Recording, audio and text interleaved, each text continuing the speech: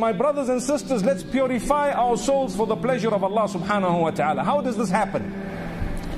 We need to do something about it. Don't think that I just make a dua, Ya Allah, clean me, purify my soul, and it will. Dua is a part of it, definitely. Allahumma, Ya muqallib al qulub, thabbit qulubana ala dinik. The Prophet sallallahu alayhi wasallam used to say, Oh Allah, in whose hands, oh Allah, who is the owner of the movement of the hearts, move my heart towards the deen, on the deen, keep it steadfast. But that statement will be of no use if you do not have an intention to purify yourself. Work hard on matters like hatred.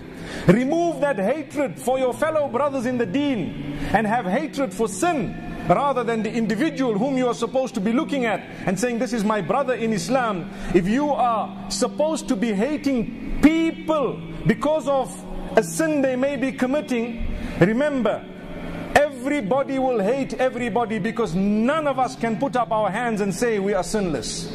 Can anyone now here put up their hands and say, I am spotless, sinless, I have not sinned? Not one, subhanallah. Not one. Not even myself. Because we are human beings. So the reality, we will hate the sin, we will hate the shirk, we will hate the bid'ah, but we will work on the brother or the sister in a way that we will try to help them come out of that shirk, come out of that bid'ah, come out of that sin, for example. But at the same time, remembering that this is a person who has declared the Shahada and I have as well. They may have sinned differently to me, but in the same way I want to be helped. I need them to be helped and I will try my best to do that or at least make dua